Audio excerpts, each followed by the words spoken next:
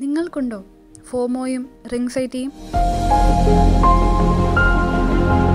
പ്രത്യേകിച്ചൊരു കാരണവുമില്ലെങ്കിലും ഫോൺ ഇടയ്ക്കിടെ നോക്കുക.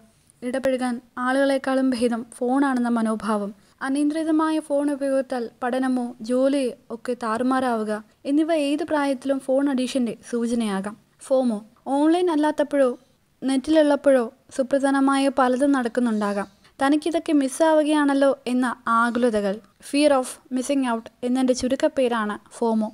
നോമോഫോബിയ. ഫോണിനെ പിരിഞ്ഞിരിക്കുമ്പോഴോ അതേപ്പറ്റി ചിന്തിക്കുമ്പോഴോ ഉണ്ടാകുന്ന ഉത്കണ്ഠ.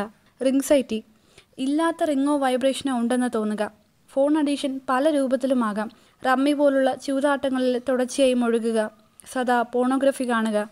അനാവശ്യമായി ഓൺലൈൻ ഷോപ്പിംഗ് നടത്തിക്കൊണ്ടിരിക്കുക. എപ്പോഴും സോഷ്യൽ മീഡിയ സൈറ്റുകൾ നോക്കുക. സർവനേരത്തും ഗെയിമുകൾ കളിക്കുക. ഓൺലൈൻ ബന്ധങ്ങളോടും ചാറ്റിങ്ങിനോടും വല്ലാത്ത അഭിനിവേശം എന്നിവ ഉദാഹരണങ്ങളാണ്. ഇതിലൊക്കെ നയിക്കുന്ന ചിന്താവൈകല്യങ്ങൾ പരിഹരിക്കാനുള്ള കോഗ്നേറ്റീവ് ബിഹേവിയർ തെറാപ്പി എന്ന മനഃശാസ്ത്ര രീതിയും എടുത്തുചാട്ടം കുറയ്ക്കാനുള്ള മരുന്നുകളും ഫോൺ അഡീഷനിൽ നിന്ന് വിടുതൽ നേടാനുള്ള വഴികളാണ്. Health desk I two I news.